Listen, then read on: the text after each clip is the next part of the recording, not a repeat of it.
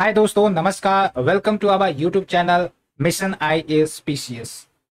In today's topic we are going to discuss about the UPSC GS paper 1 that was asked in the recent exam that is going on for the UPSC mains and definitely from this paper specifically GS paper 1 we can talk about some of the important sources from where UPSC may had asked the question or frame the question or indirectly I may suggest you the sources so that you can integrate with your preparation and that preparation will help you in focusing on the subjects and the topics that will be more important for the examination point of view.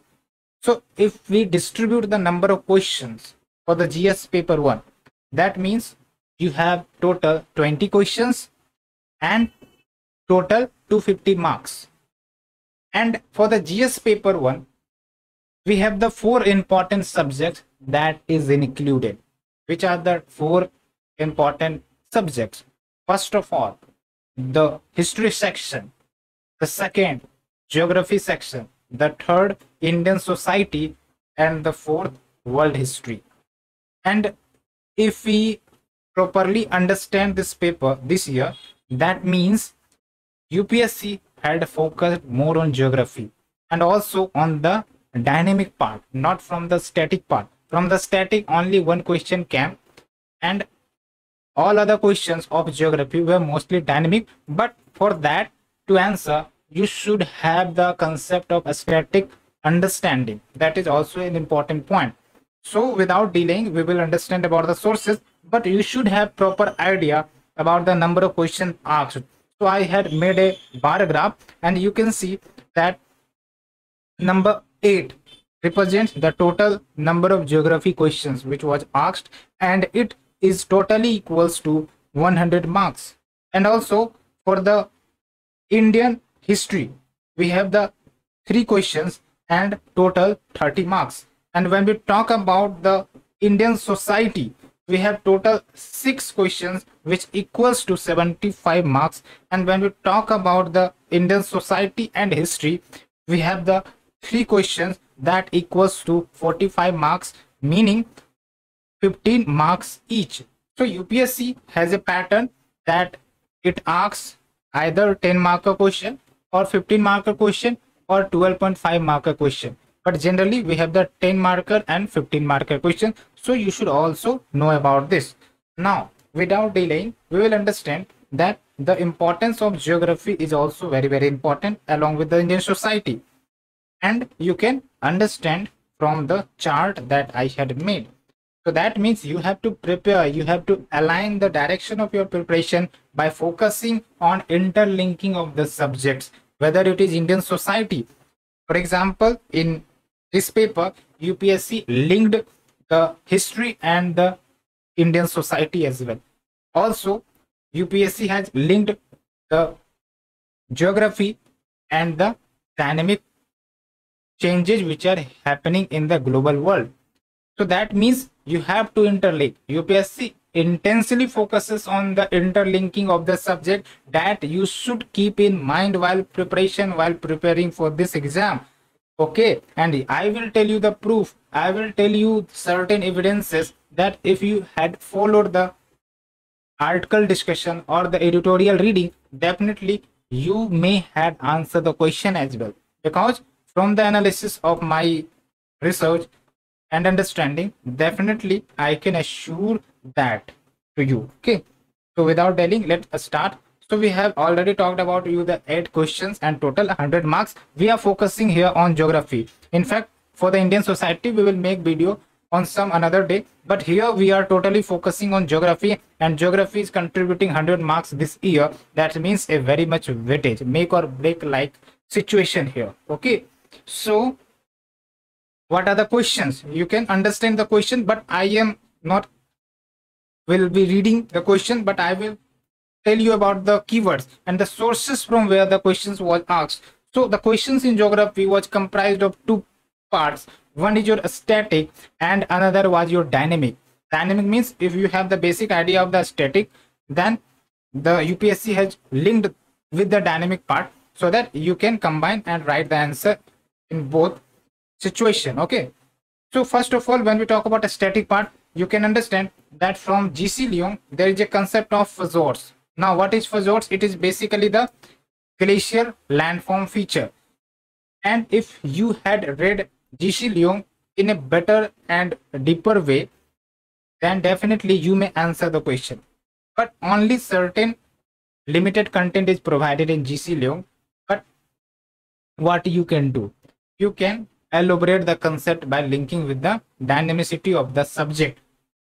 Because if you start reading like optional definitely it will be very much loss to you as compared to the cost benefit. And now we are seeing that upsc is asking the optional questions to the gs paper. And this is the evidence as well. Because this glacier landforms is typical to the geography optional aspirants and the geography optional paper. But now upsc is integrating it into the gs so you can understand. And you should read gc leong first of all. And also you should have the command over ncrt because ncrt after reading definitely you can answer some of the questions which has been given into the slide. Okay for example when we talk about the southwest monsoon why it is called purvaiya so it is basically the purvaiya or the easterly we call why we call a wind easterly or westerly? Because its origin lies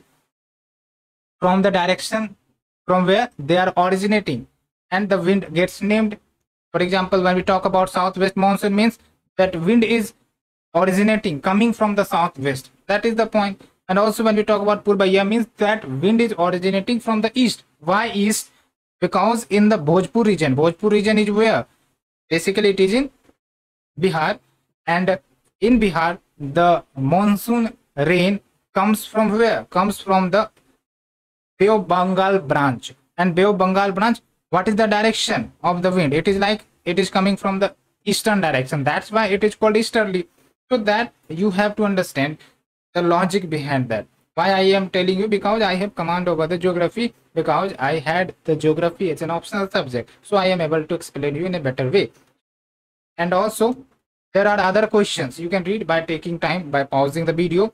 But what I will tell you about the sources that if you had followed the sources definitely you will be able to answer the questions okay? And uh, kindly remember one more important point that the upsc asks the questions based on the frequency of topics which was highlighted in the previous year. Meaning you have to analyze the previous year questions as well the topics because the topics gets repeated maybe the types of questions gets changed but the topics gets repeated. For example liberalization lpg reforms for example green revolution. So you should understand the significance of pyq that's why i also try to provide you the py questions on the daily basis on our telegram platform. And if you hadn't joined our telegram channel please do join and like share subscribe our video if you are liking our initiative. So friends that is the also point. So after understanding and the second part is your dynamic questions. Dynamic questions means like uh, which is in dynamic nature like indian society mostly dynamic. And the question also gets uh, basically dynamic nature. For example why women's society is very much increasing. So this is dynamic part. Okay. So you have to understand the dynamic concept.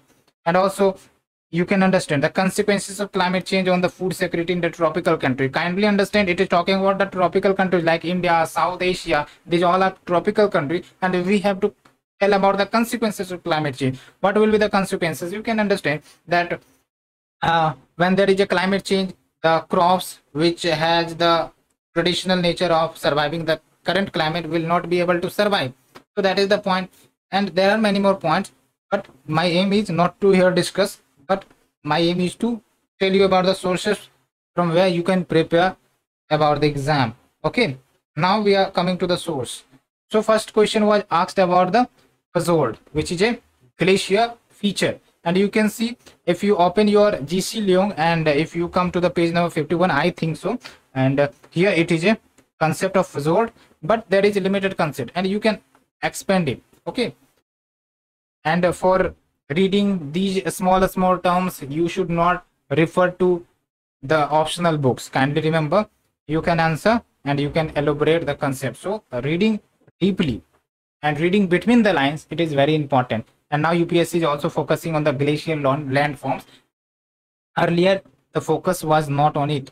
That is also a trending topic for the upsc and that's why the geophysical phenomena which is getting changed it is also becoming important for the upsc examination. Now the second question which was related to food security and climate change here we have given you the snapshots of various hindu editorial and the articles that deals with this topic.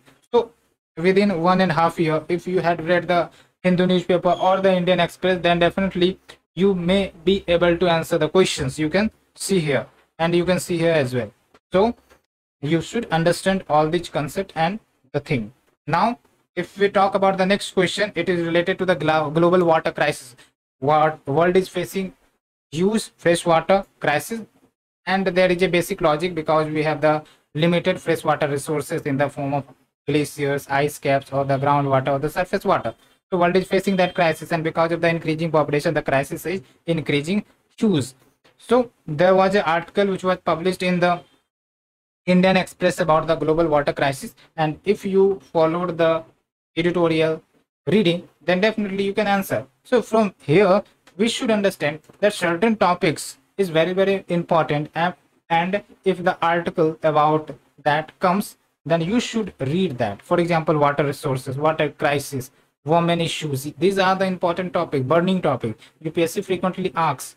So definitely you need to focus in a study like that. And also you have to read the ncert of geography. For example water resources topic has been given into the class 7 book class 10th and class 11 so you should have a command over NCERT first of all. Then you should have a command over GC then you should have a command over the editorial and the articles.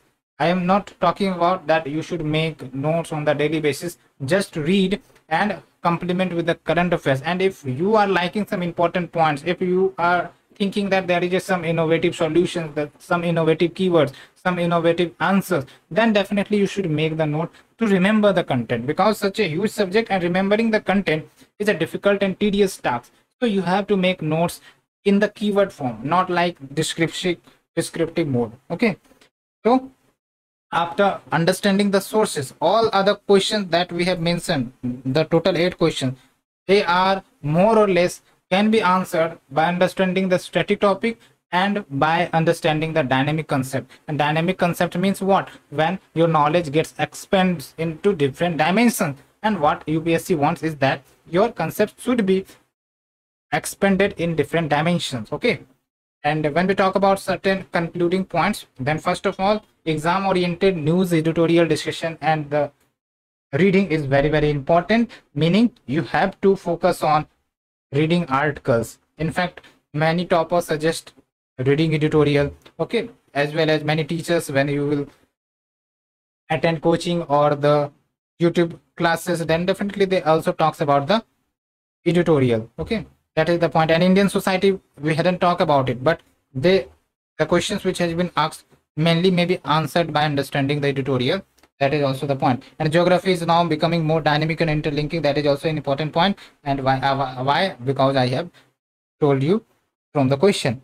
And also there is a one important uh, uh, topic in the syllabus of gs paper 1 that is important geographical phenomena and changes which is happening because of the climate change. And this is very much big topic. And if any article or the editorial comes about this topic you should have a command over it and ncert is necessary. Interlinkages is also very very important. So these all are the points that need to be concluded and that need to be focused upon to strengthen your preparation so that any questions which are asked may be answered directly or indirectly. Because maybe out of 20 questions you may not answer all the question directly. But indirectly if you had read articles newspapers so you can accumulate the points into your mind and you can uh, develop develop an answer for that question. That is also important point. So friends that is the topic which I had concluded. Hope you understood. And if you are liking our initiative, please do like, subscribe and share our channel. thank you friend. Thank you very much. We will meet again with another interesting topic. Thank you. Thank you very much